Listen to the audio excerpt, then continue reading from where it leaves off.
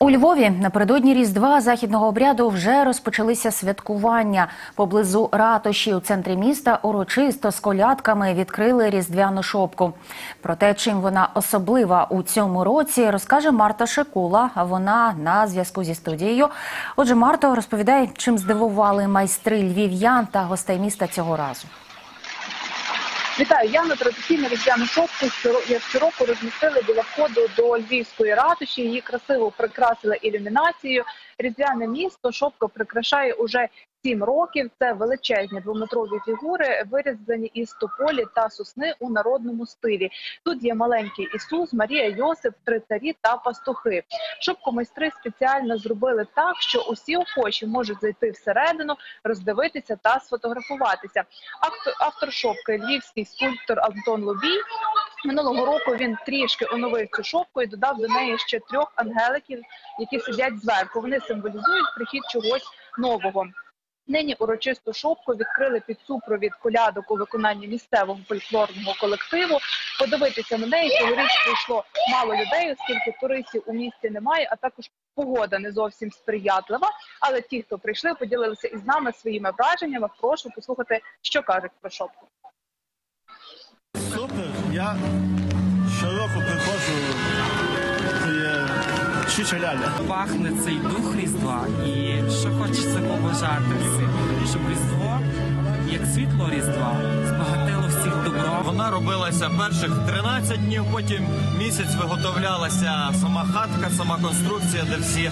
І три дні е, разом з дітьми майстерні Дідова Борода виготовлялися троє царів. Ну і е, місяць на ангелів. Більшість львів'ян святкують Різдво за східним обрядом у січні, але є і католики, у яких різдвяні свята розпочинаються уже сьогодні. Зараз у храмах розпочинаються передсвяткові меси. Ми вранці побували в одній із сімей католицьких. Вони нам показали, як готуються до Різдва, розказали про свої особливі страви та традиції. Прошу подивитися разом далі у сюжеті.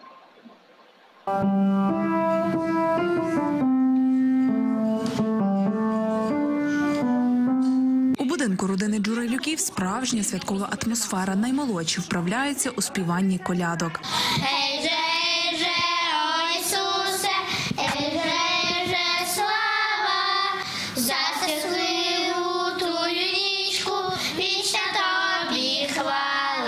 На кухні в стані приготування до святої вечері. Нині господиня готує головні страви різдвяного столу. Головне, щоб тут було мир і спокій. Пампухи пані Наталя готує за бабусиним рецептом без начинки та з вишнями. Робить їх багато. Допомагають донечки. Береш вишеньку, може дві, так? Що?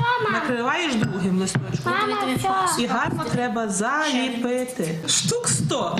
Тому що вони якось так зникають, дуже мають дуже швидку властивість випаровуватися е, відразу після смаження. От Готуючи дівчата співають різдвяних пісень, а господиня розповідає про традиції, які передають із покоління до покоління. тебе чекаю, о мій Ісусе, тихій молитві, що серця йде, Твого приходу весь світ чекає. Можливо, не так все акуратно, можливо, не такі вони вийдуть. Але зато діти будуть знати і так передадуть своїм. Так в мене в сім'ї передавалися традиції, і я сподіваюся, що вони так своїм дітям передадуть. Далі беруться готувати кутю. І ось е, вважалося, що яка куття, такий буде рік. А щоб рік був багатий і щоб всі були здорові, відповідно давати такі інгредієнти, які символізують здоров'я, щастя, багатство, родину.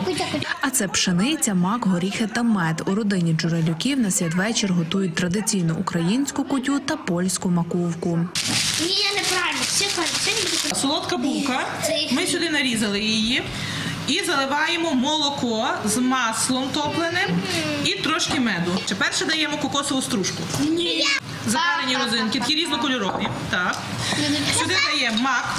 Окрім пампухів та куті, господиня готує рибу, вареники, гриби та інші традиційні різдвяні страви. Молодші господині накривають стіл. Посередині ставлять тонкий білий коржик, оплатку. У католиків це символ миру та любові. Для цієї сім'ї Різдво особливе свято. До народження Ісуса готувалися місяць. Різдво це саме таке саме світле і саме краще свято. Це таке пережиття кожного дня магії, очікування чогось кращого, е, до кращих змін, до кращих якихось переживань, можливо. І це от різдво це таке очікування чогось світлого і доброго. Ми ходили кожного ранку до роратів, щоб е, освічувати Марії дорогу до народження Ісуса. Ще що? Ще ми дуже молилися, що гарно прийшло це різдво, що всі були здорові до того свята і не було ніякого зла. Зазвичай за цей стіл з'їжджається уся родина з різних куточків України. Нині через пандемію святкуватимуть у тісному колі. А після вечері родина рушить до храму на святкову службу. Święty nadchodzi święty, prostujcie ścieżki, pagórki równajcie. Марта Шиколев, Ген Радіон, Львівська область, п'ятий канал.